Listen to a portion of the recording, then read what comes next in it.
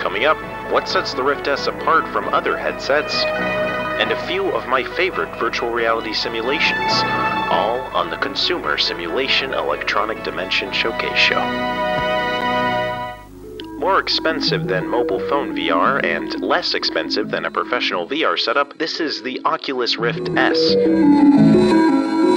Unlike other headsets, the Rift S doesn't need base stations to track. Everything is contained inside the headset. This is called inside-out tracking. It uses one Sensor. to track your room, then another infrared Sensor. to track the controllers, meaning you can move in all six dimensions without losing your way.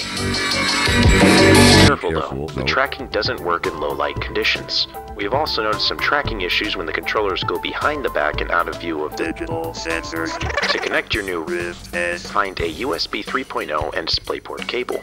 There's also a mini DisplayPort adapter if you need it. After that, you're ready to enter the simulation. But you must remember Your controller straps.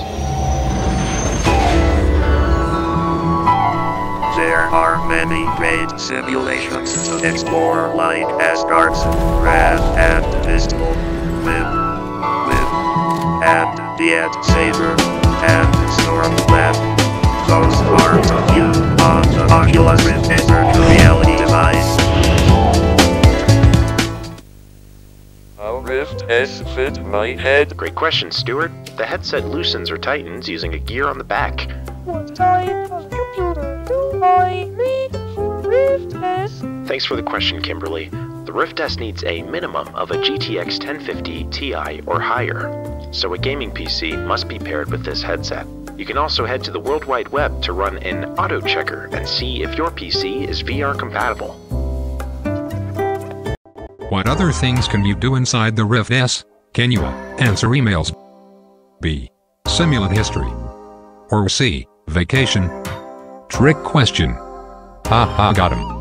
Within the simulation, you can answer emails in space, simulate historical locations, then take a break on the beach, smile face with sunglasses. Who first coined the term virtual reality? Was it A. Terence McKenna? B. Tom Petty? Or C. Jaron Lanier? You may have gotten it wrong. You may have gotten it right. The term virtual reality was coined in 1987 by Jaron Lanier, whose research and engineering contributed a number of products to the nascent VR industry. Okay, last question. What is the field of view on the Rift S? 150 I experienced a virtual roller coaster while eating an apple. Shook me to the core. 105 degrees. Cool beans. The field of view is 115 degrees, compared to 110 degrees on the Rift CV1. Also, compared to the original Rift, the Rift S uses next generation lens technology which almost entirely eliminates God rays. Thank you for playing the quiz. Have a good life in the physical world, and have a good life in the virtual world.